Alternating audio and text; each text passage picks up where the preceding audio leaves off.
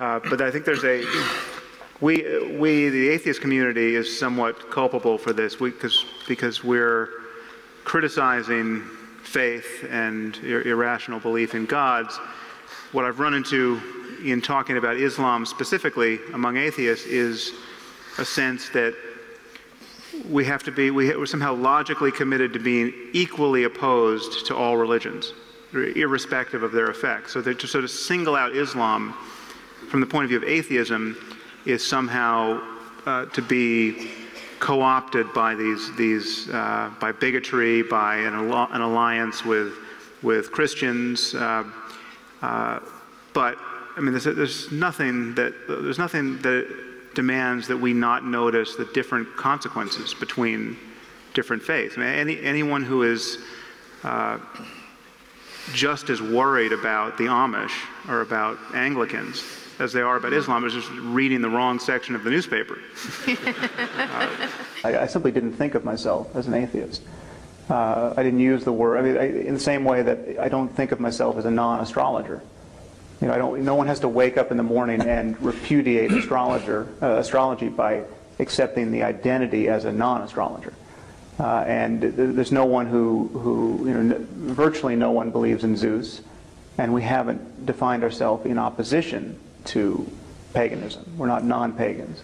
Um, and I think it's also useful to point out that every devout Christian stands in the same relationship to Hinduism or to, to Islam as I do. I mean, the Christians look at what's going on in, in Muslim discourse. They look at the claim that the Quran is the perfect word of the creator of the universe, and they are not persuaded. And that's all, that's all my atheism consists of. I'm, I'm not persuaded by the, these patently ridiculous claims. And I am persuaded by the evidence that these people are part of a, a culture that is designed to uh, not look critically at its own discourse. Uh, and so Christians can see that of Islam. They can point out the errors of thinking there. They just don't point it out in Christianity. Um, so the, uh, from my point of view, I, I, don't think this is where I may differ from some of my colleagues. I, I don't think the word atheism ultimately is is necessary or even useful, and I think it's actually, uh, in the end, harmful uh, because it it uh, the rejection of absurdity is much bigger than atheism. I mean, it, it is science. You know, reason is much bigger than atheism. And having standards of evidence and argument is much bigger than atheism. And that's all we need to repudiate most of what, people, what most people do most of the time in the name of, of religion. We define physics as you know, loosely speaking, our best effort to understand the behavior of matter and energy in the universe. Uh, so it's defined with respect to the goal of understanding how matter is going to behave. Now, anyone else is free to define physics in some other way. I mean, the, the, you know, a creationist physicist could come into the room and say, well, you know, that's not my definition of physics. I want my physics, I want, I want to simply match the book of Genesis. Uh, and we are free to exclude that person, say, well, you, know, you really don't belong at this conference. That's not physics as, as we are interested in it. Um, you're using the word differently. You're not playing our language game. That, that gesture of exclusion, in no sense, the, the fact that the discourse of physics is not sufficient to silence that guy, that that, that, that, that, person can't be brought into the conversation doesn't nullify physics as a domain of, of right and wrong answers. Uh, and yet, on the subject of morality, we seem to think that the possibility of differing opinions, the, fa the fact that someone can come forward and say, well, no, my morality has nothing to do with human flourishing, it has to do with following, you know, Sharia law, the fact that that position can be articulated, I hear people like Jonathan and certainly many philosophers saying, well, that proves in some sense that there's no there there. This is all made up. This is not, we can't, uh, the fact that you can articulate a different position is a, is a problem for the whole field. And I think it's not. So I think, I think we have, um, obviously we have an intuitive physics, and much of our intuitive physics is wrong with respect to, to the goal of understanding how matter and energy are going to behave in the universe. I'm, what I want to say is that mo most people, most of us, most cultures have an intuitive morality. And much of our intuitive morality may be wrong with respect to the goal of maximizing human flourishing. The question is, do you ever have to believe anything on insufficient evidence to explore this terrain, to become truly. Uh, and what is sufficient evidence? Well, it's, it's the kind of evidence everyone in this room demands on any subject other than religion. I mean, there, there are nuances here. We can, we, it, it takes a lot of work to, to rise to the standard of scientific evidence, but um, science is the one language game we are playing where we get really straight and rigorous about what constitutes evidence, where there's a process of peer review, uh, where you have a lot of smart people trying to prove you wrong, and where you actually win points by proving yourself wrong. And this is not what religions are up to. Religions are not uh, falsifiable in this way. Um, the divine origin of certain books figures rather centrally to Christianity, Judaism, and Islam. Yes. Uh, this entails a variety of claims which are on their face at odds with science. Um, the belief that, that Jesus was born of a virgin may be a, a, a cherished claim for most Christians. It is also a claim about biology. I mean, this is why you can't keep religion and science apart. They, they, they, they, their truth claims cannot be disentangled, which is what you want I don't to do. Want, I don't want to spend my night defending the virgin birth, but. Uh, um, well, they don't think that... that their body doesn't disintegrate. They assume that it does disintegrate. What they assume is that there is something inside of you that is eternal, which yeah. I assume as well. And it doesn't seem to me anti, doesn't seem to me anti-scientific. Well, it's anti-scientific if you um, believe that you have good evidence for that. I mean, this, this, is, this is what's anti-scientific. When your certainty, when your convictions don't scale with your evidence. I mean, I'm actually open-minded on the survival of death. I, I right, don't you know. say about reincarnation, that there could even be evidence for it in your book. Yes, I mean, I, I, can easily tell you what would constitute evidence. I'm not saying this evidence exists, but um, I mean, I can tell you what would constitute evidence for the truth of Mormonism. It's, it's, it's just not forthcoming. Uh, there, there are all kinds of scientific things you can say about religion, which religious people tend not to want to hear. I mean, you can say, for instance, that Mormonism is objectively less likely to be true than Christianity. Now, why can you say this? Because Mormonism is just Christianity plus some rather stupid ideas. But it remains a fact that yogis and mystics uh, are said to be walking on water and raising the dead and flying without the aid of technology uh, materializing objects, reading minds, foretelling the future, right now. In fact, all of these powers have been ascribed to Satya Sai Baba, the, the South Indian guru, by an uncountable number of eyewitnesses. He even claims to have been born of a virgin, which is not all that uncommon a claim in, his, in the history of religion. Or in history generally, Genghis Khan supposedly was born of a virgin, as was, was Alexander. Apparently, parthenogenesis doesn't guarantee that you're going to turn the other cheek. Uh, but Satya Sai Baba is not a fringe figure. He's not the David Koresh of Hinduism. His followers threw a birthday party for him recently, and a million people showed up. So there, there are vast numbers of people who believe he is a living God. You can even watch his miracles on YouTube. Prepare to be underwhelmed. Uh, I mean, it's true that he has an afro of sufficient diameter as to suggest a total detachment from the opinions of his fellow human beings. But I'm not sure this is reason enough to worship him. Uh, in any case, so consider, as though for the first time, the foundational claim of Christianity. The claim is this that miracle stories of a sort that today surround a person like Satya Sai Baba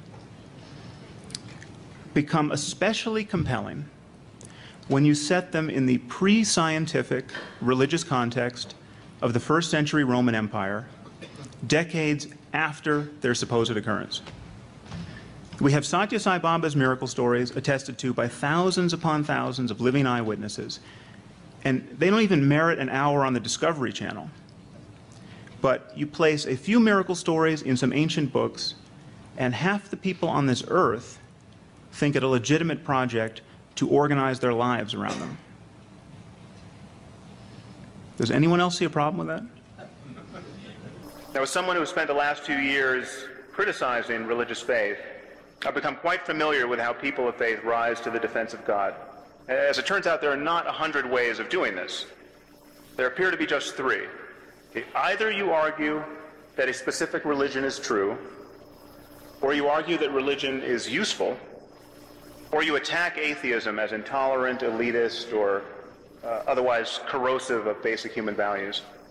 Now, the, the only line of argument that is relevant to this debate, or indeed any debate about the validity of religion, is an argument that religion is true.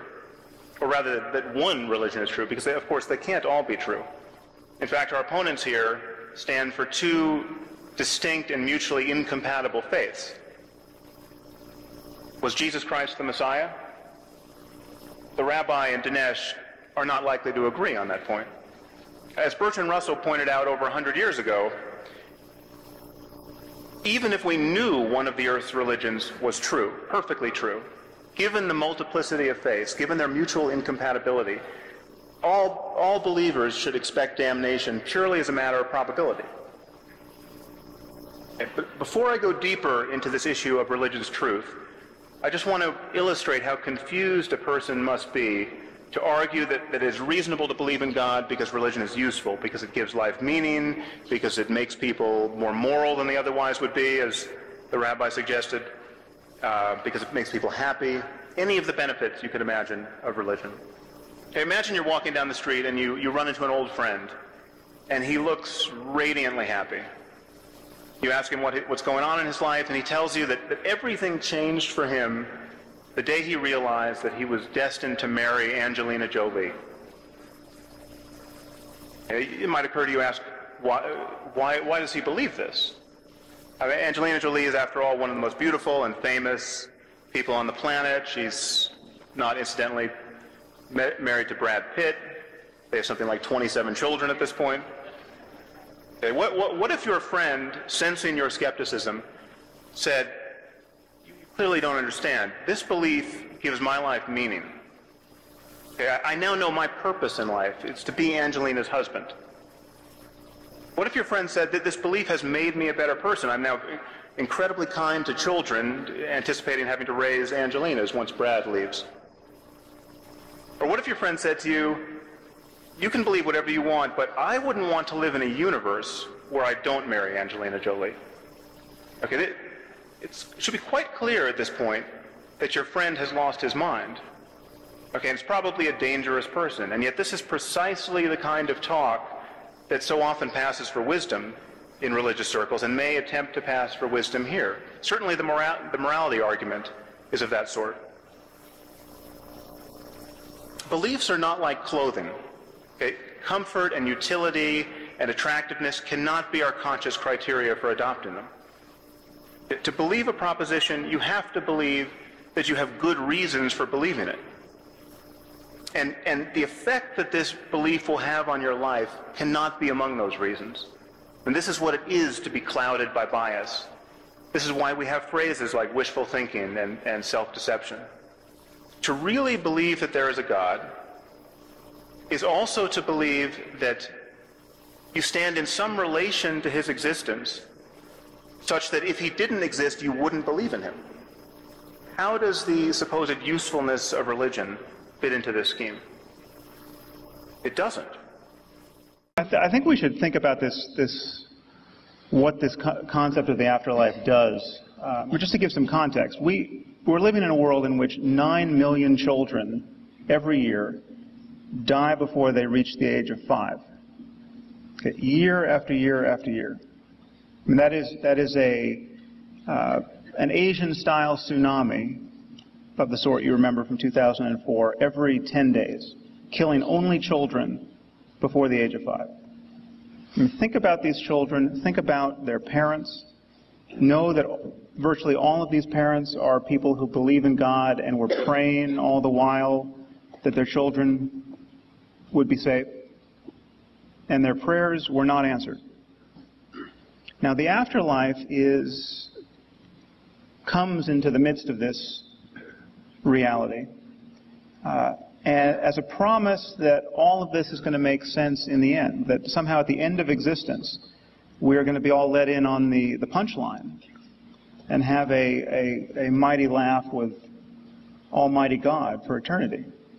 Now, there's no evidence of that, and I, and I think, therefore, the, the, this concept of the afterlife really functions as a, as a substitute for wisdom. It, it functions as a substitute for, for really absorbing our predicament, which is that everyone is going to die. There are circumstances that are just catastrophically unfair. Evil sometimes wins, and injustice sometimes wins. Uh, and the only justice we're going to find in the world is the, is the justice we make. And I think we, need, we have an ethical responsibility to, to absorb this really down to the soles of our feet. And, and this notion of an afterlife, the, the happy talk about how it's all going to work out and it's all part of God's plan, is, is a way of shirking that responsibility.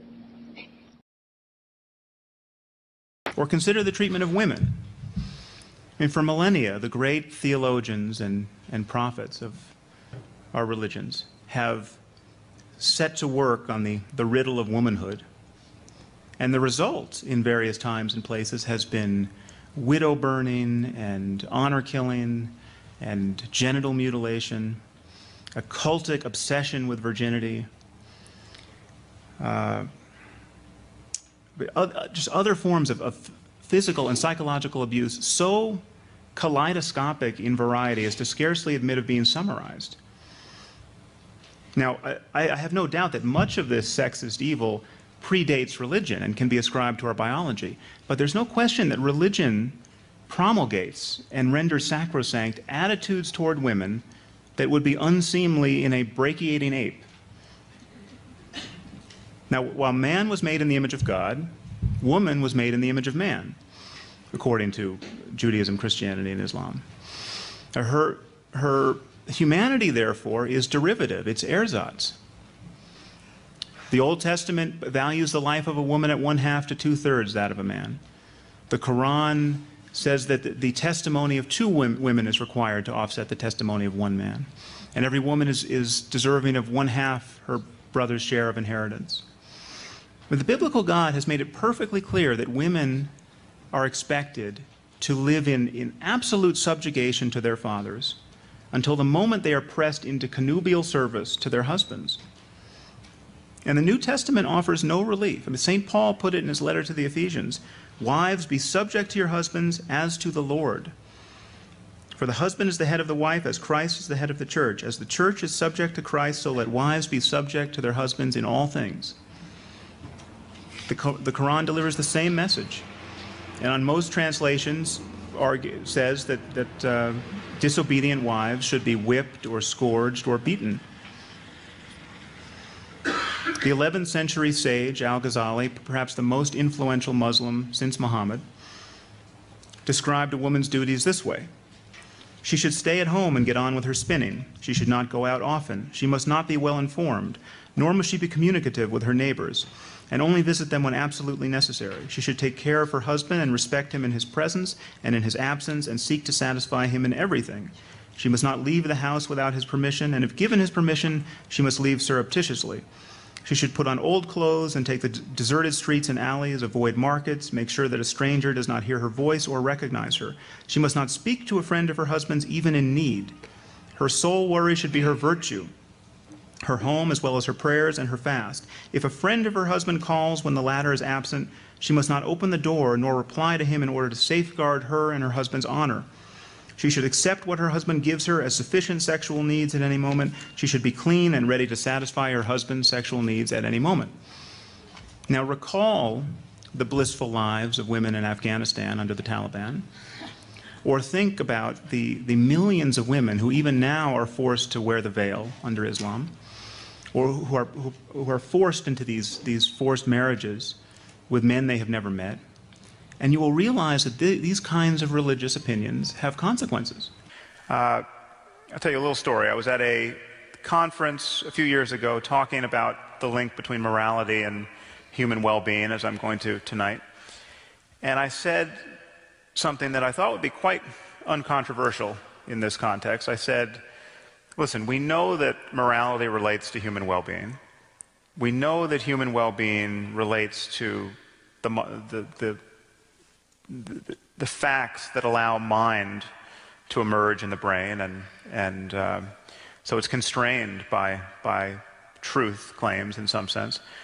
And therefore, we know that certain cultures are wrong about how to maximize human well-being, and therefore they are, uh, they're wrong in terms of what they value.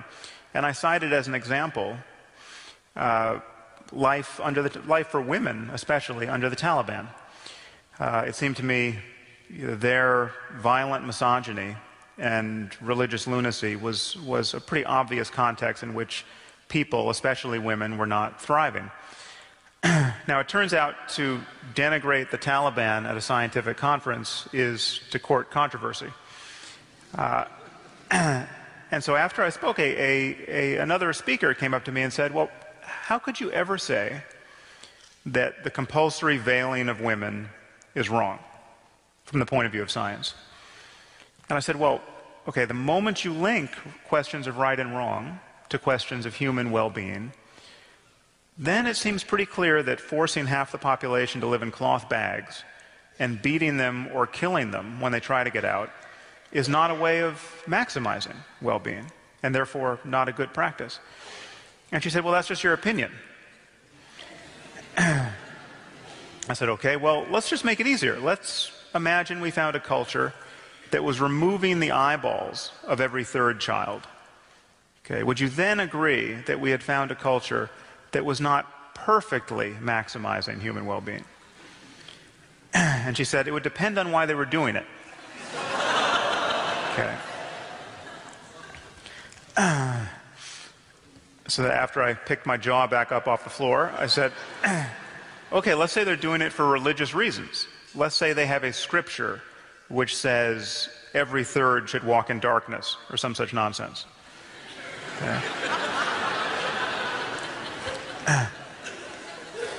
And you'll be pleased or horrified to know that she just bit the bullet here and said, then you could never say that they were wrong. Okay, now this is, uh, this was a woman who has a background in science and philosophy. She's now on the President's Council for Bioethics. She's one of 13 people advising our President on all of the issues related to progress in medicine and life science generally. Um, she had just delivered a totally lucid lecture on the moral implications as she saw them for, for the use of neuroscience in our courts. She was, she was very worried that we have been developing lie detection technology and that we are using this on captured terrorists. And she, she viewed this as an invasion of cognitive liberty. Okay, so on the one hand, her, her, her moral scruples were really finely calibrated to our own possible missteps, in, in this case, in our war on terror. Uh, but she was rather sanguine about the, the ritual enucleation of children.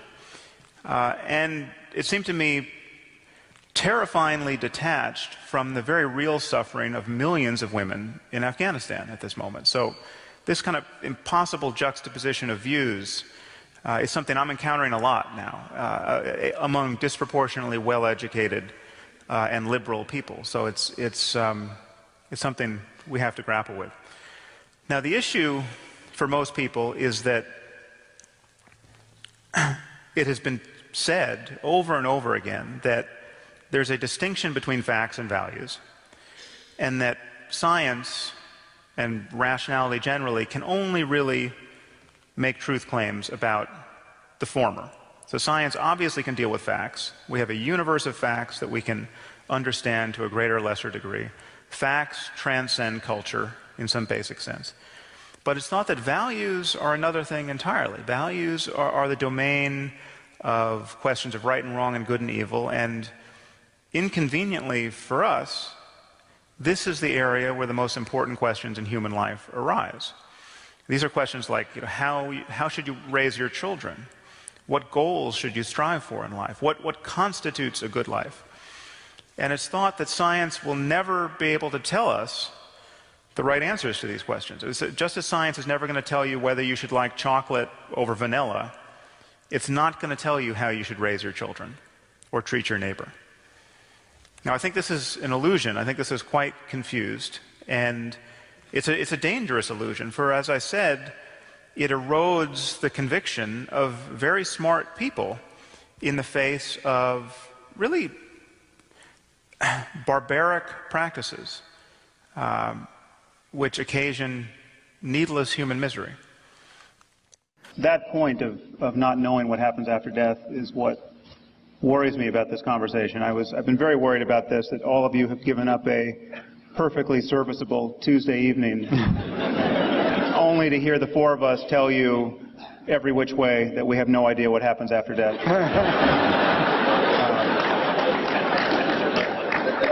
and uh, well, I expressed the spirit of my wife, and she was actually able to put me at ease.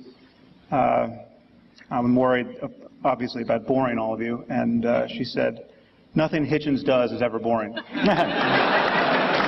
the, the God of the Bible hates sodomy and will kill you for it, but he rather enjoys the occasional human sacrifice. But I think at the very least we can, we can say he doesn't quite have his priorities straight. In the Old Testament, we witness the most immoral behavior imaginable genocide, ethnic cleansing, sexual slavery, the murder of children, kidnapping. All of it not only permitted by God, but mandated by God. I mean, if you doubt this, take another look at books like Exodus and Leviticus and Deuteronomy and 2 Samuel and Numbers and 1st and 2nd Kings and Zechariah. I mean, these books, on these book, in these books, the, the most unethical behavior is celebrated. If, if, if, if these events occurred in our own time, half the prophets and kings of Israel would be shackled and brought to the Hague for crimes against humanity, including Moses for slaughtering the Midianites, including Joshua for slaughtering the Amalekites, including Elijah for slaughtering the, the prophets of Baal. I mean, these men, by, by our standards today, they were utter psychopaths. It's also worth observing that the most atheistic societies on the planet, like Sweden and Denmark and the Netherlands, are in many respects the most moral. They, they have rates of violent crime that, that are far lower than our own in the US. Uh, and they're more generous, both within their own population and in the developing world on a per capita basis. Mean, Sweden, which opposed the war in Iraq, has nevertheless admitted more Iraqi refugees uh, into its borders than any country, and many more than the U.S. has. So if you're looking for a, a state model of Christian charity, the most atheistic societies at this moment fit it better than the most Christian societies do.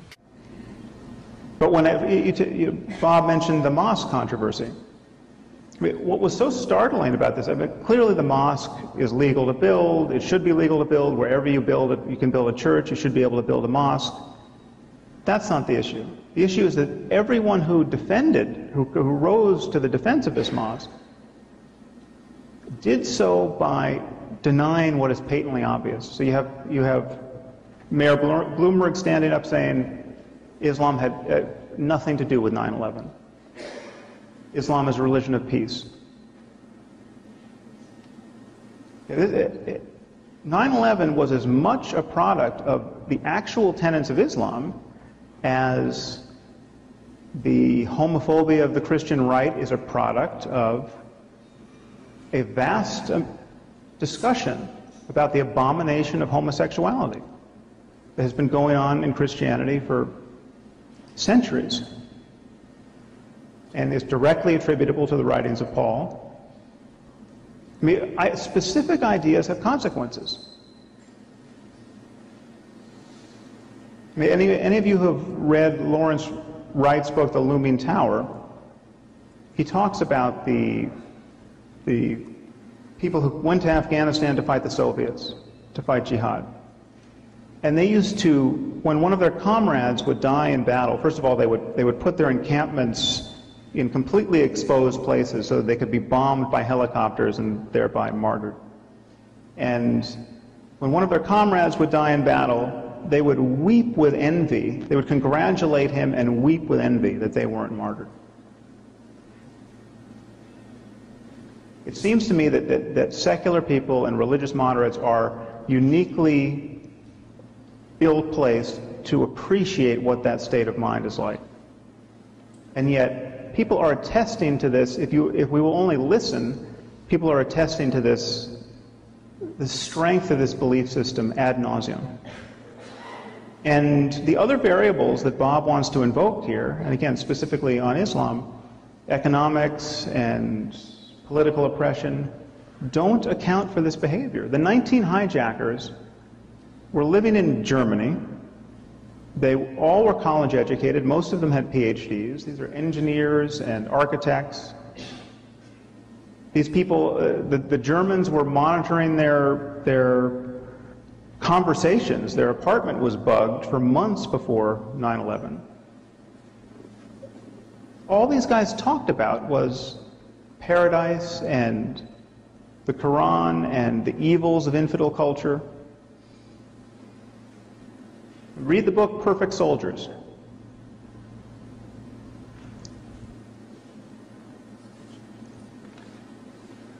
So we, we, what we have, what, the problem we have is that we desperately want to believe that everyone views the world the same way, and if we could just moderate our behavior, all of our enemies would disappear. It'd be, it'd be so much easier to imagine that, that we made our enemies.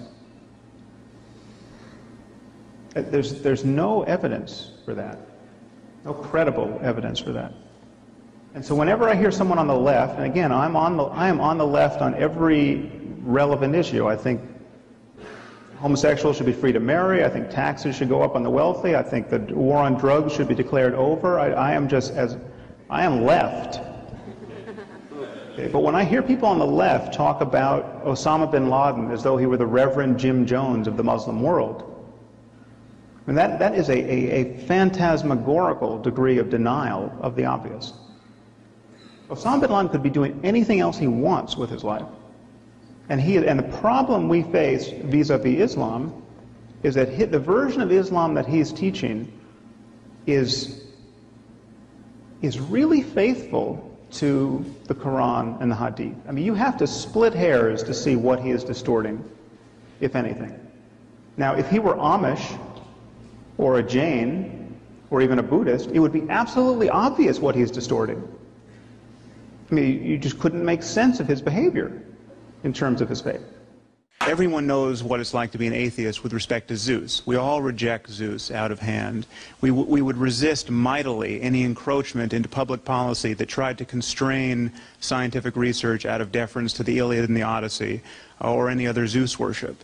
And um, you, can, you could say no scientific study has ruled out the existence of Poseidon.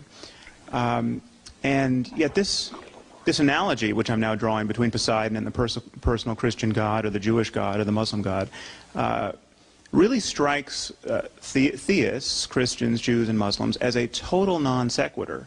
Um, so as an aside, I might say that, that I now get hate mail from people who actually believe in Poseidon which is, you know, quite a surprise. I mean, uh, Richard and I confidently trot out this, this analogy, saying, you know, we all know that Poseidon doesn't exist. Uh, Christians or Jews or Muslims, like yourself, th think it a totally spurious analogy, and yet, you know, the, the hate mail comes pouring in to my email box from, from neo-pagans, who, who you know, I've been called a racist for, for uh, uh, you know, denying the validity of these religious beliefs. So what you have on your side are sheer numbers of subscribers. Uh, 2 billion Christians, 1.3 billion Muslims. Um, it's, uh, that personal God is compatible with, with, with an endless amount of progress in science, and yet the, the mood you feel the, about uh, Poseidon, the, the, the, the, reflexive rejection of Poseidon is the mood that uh, could extend to, to the, the God of Abraham, and, I, and should extend. The problem with religion is that it is the only mode of thought that systematically closes people to real conversation. Because it is the only mode of thought that puts a positive value on a person's perpetual immunity to new evidence and new argument. And this closure is euphemistically called faith, and it is generally thought to be beyond criticism even by atheist scientists who don't share it. Now, I want to make it clear, I'm not advocating new laws. I'm not advocating that we infringe people's religious freedom. I'm advocating new rules of conversation. There is no law against believing that Elvis Presley is still alive. Okay, this is not, how have we kept this belief from invading our boardrooms and our academic departments? The principle of our immunity is, is really quite simple. Anyone who seriously espouses the idea that Elvis is still alive, either in a, in a lecture or in a, in a uh, job interview or on a first date, immediately pays a consequence in, in ill-concealed laughter. There's a general principle at work here. People who claim to be certain of things they clearly can't be certain of have a problem meeting their goals in life, expe- except when these certainties are on the subject of religion. But such people do not get asked to run our major corporations on any other subject, when they, when they espouse these certainties on any other subject. They, they don't get invited to present at conferences. They're apt to find their business cards dis- discreetly placed in the trash. Okay, this is, it, notice that we don't have to pass any laws against bad ideas to, to reliably deliver these rebukes. We simply have to be free to criticize bad ideas. And we are free to criticize bad ideas, except we're not availing ourselves of this freedom on the subject of religion. It is, it is certainly possible, and I think this is true, that there is a distance between what people profess they believe and what they actually believe, and what, what, they, will, what they will say on a questionnaire, uh, and then what, what is really operative at the level of their behavior. Uh, now, what this distance is, that's, that's something that's uh, difficult to determine in any case. So when you have something like 38% uh, uh, of British Muslims now claim that, that to claim to believe that anyone who leaves the faith, anyone who commits the crime of apostasy, should be put to death.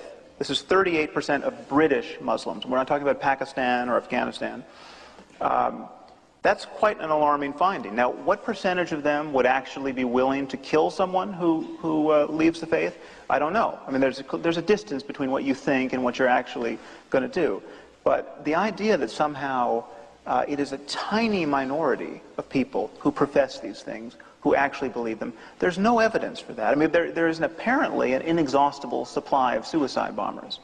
Uh, people like Chris uh, seem, to, seem to imagine that the cause of this is not their belief in martyrdom. It's not the, not the idea that, uh, that you're going to get everything you want after you die, and, and there's nothing better than death in, in defense of Islam, which is what I argue. Uh, they seem to believe that it is poverty and economic desperation and lack of education. The reason why we know that can't be true is it, everything we find out about the kinds of people who hijack planes and fly them into buildings or blow themselves up on, on the tubes in uh, the UK they are disproportionately well off and they are disproportionately educated. Uh, this, this goes from the top, you know, from people like Osama bin Laden and Khalid Sheikh Mohammed who don't blow themselves up and maybe cynically manipulating people who really believe these things. But it goes all the way down through the 19 hijackers, all of whom were college educated. Many of them had PhDs. It goes to the leaders of Hamas and Hezbollah, and it goes down to the foot soldiers who blow themselves up. They are, your likelihood of dying if you were affiliated with Hezbollah, dying through suicide bombing, uh, goes up if you're better educated. I mean, this is, and, and support for suicide bombing goes up in conjunction with literacy. This is not a movement of the, of the poorest of the poor and the least educated. And that, and, and the idea that it, it, it would be nice if it were, I mean, then the remedy is just spread the money around and teach people about, about all we've come to know in the last 2,000 years. Uh, but, but our situation is quite a bit more sinister than that. It is possible to be someone with the, with the technical expertise, uh, uh, who, someone who can build a nuclear bomb, uh, and to still think you're going to get 72 virgins in paradise. That's what we should be worried about, that the, these beliefs really are operative, and the idea that no one believes them while everyone professes them, I think is an act of faith uh, none of us should be willing to uh, adopt. You know, Whenever I find myself in this position criticizing religion, if I say that, for instance, uh, Muslims are uh, not justified in their belief in martyrdom, for instance, or Christians are not justified to believe that the uh, that Jesus was born of a virgin, resurrected, will be coming back to earth to wield his magic powers. Uh, I'm often met by Christians and Muslims of a more moderate persuasion who will say that I have completely caricatured the faith, that I have taken extremists to be representative of the faith. Um, and there are a few problems with this response. I, I take your response, Ray, as a, as a version of that, that you know, not all Christians believe that X, Y, and Z. Um, first, it discounts the fact that that so many millions and millions of Christians and Muslims do believe these things. I mean, we are living in a country where 53% of the, the population claims to believe that the, the universe is 6,000 years old and that we have no precursors in the natural world uh, apart from Adam and Eve. I mean, that we did not evolve out of prior life forms. This is a majority of the American population. Uh, so it seems to me this is, you can call this extremism. I mean, this is, these views are extreme in almost every respect. They are extremely silly. They are, they are extremely worthy of our denigration, but they are not extreme in the sense of being rare. This moderate defense of religion where, in, where you sort of, uh, you can have this vaporous, very diaphanous uh, set of truth claims that are not really true. It's hard to know the difference between uh, religious claims to knowledge and mythology. Uh, it it represents a misrepresentation of so many millions of people who, who whose decision making is, is really of consequence to us. Um, the other problem is that it it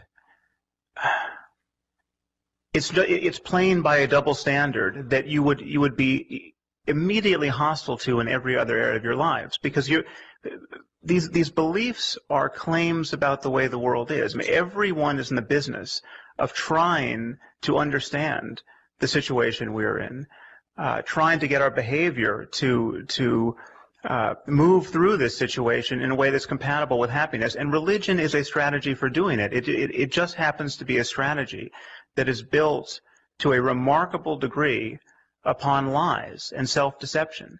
Uh, and it, so, so I argue it's, it's the wrong tool for the job, and that's. We form beliefs about facts and this constitutes science and history and journalism and every other domain in which we, we claim to be ta talking about the way the world is. But we also form beliefs about values, and this, this captures all of the juicy questions in life meaning and morality and, and spiritual experience. But it's always seemed to me that these, these two operations, why many, people, why many people think they're quite different, are the same. And so we did some neuroimaging work where we put people in a um, fMRI scanner, and we gave them statements to read, very simple statements drawn from many different categories. Uh, but we, we were able to separate out mathematics and ethics, which were really our, our most dissimilar content areas. Mathematics was just equations being judged true or false. And ethics was very value laden statements like it's good to be kind to children versus it's, it's good to torture children. So completely different content, and yet the difference between accepting a proposition as true and rejecting it as false was essentially the same. And so uh, what I would argue to you is that if the brain is doing the same thing when it accepts a proposition versus when it rejects it, regardless of whether it's about Jesus being born of a virgin or about mathematics, we should we should be hesitant to ascribe radically different categories to that to to those operations in our in our conversation with one another. We're facing a problem at this moment. There is, there is, I'm happy to say, a religion of peace in this world, but it's not Islam. Okay. To call Islam a religion of peace, as we hear ceaselessly reiterated, is completely delusional. Now, Jainism actually is a religion of peace. Jainism is a, that the core principle of Jainism is nonviolence. Gandhi got his nonviolence from the Jains. The crazier you get as a Jain, the less we have to worry about you. it is, Jain extremists are, are actually, they are, they are paralyzed by their pacifism. Jain extremists just, they, they can't take their eyes off the ground when they walk lest they step on an ant. They filter every sip of water through cheesecloth lest they sw swallow and thereby kill a bug. So the problem, uh, notice, the problem is not religious extremism.